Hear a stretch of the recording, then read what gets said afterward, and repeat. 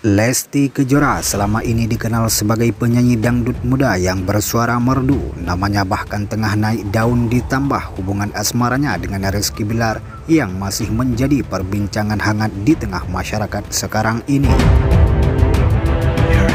Alhasil, Lesti Kejora pun tak pernah lepas dari sorotan publik Penyanyi jebolan dangdut The Academy ini bahkan sering menghiasi layar kaca hingga menjadi bintang tamu dalam berbagai acara televisi dan juga media YouTube. Bicara soal penampilan di televisi, tentunya Lesti Kejora memiliki beragam pilihan gaya busana agar terlihat cantik rupanya. Salah satu busana favoritnya adalah rancangan desainer papan atas yang tak asing lagi di telinga masyarakat. Siapa lagi kalau bukan Ivan Gunawan atau yang sering disapa dengan nama Igo.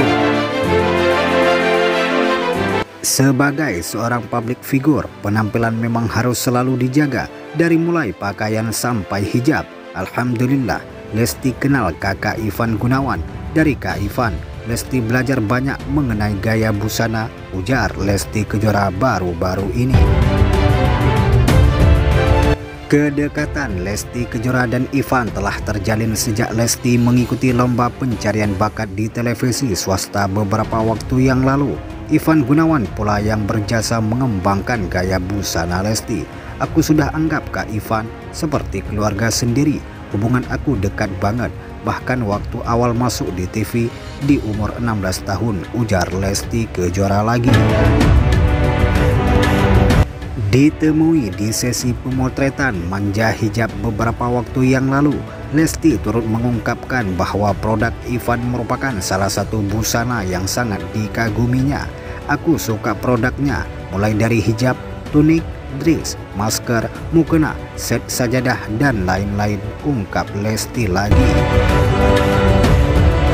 Di mata Lesti, kenyamanan dalam berbusana termasuk penting terlebih lagi dalam hal penampilan di depan publik sehingga memiliki kualitas dan desain terbaik untuk urusan busana adalah suatu keharusan. Tak hanya itu saja, menurut kabar yang berkembang saat ini, Lesti dan Rizky Bilar juga akan menggunakan baju pengantin rancangan Ivan Gunawan. Tak tanggung-tanggung, Lesti sudah memesannya sampai lima pasang. Hal tersebut juga diakui sendiri oleh Ivan Gunawan beberapa waktu yang lalu. Begitulah informasinya. Jangan lupa untuk kawal terus Leslar sampai halal. Jika ada kesalahan kami minta maaf. Kami akhiri. Assalamualaikum warahmatullahi wabarakatuh.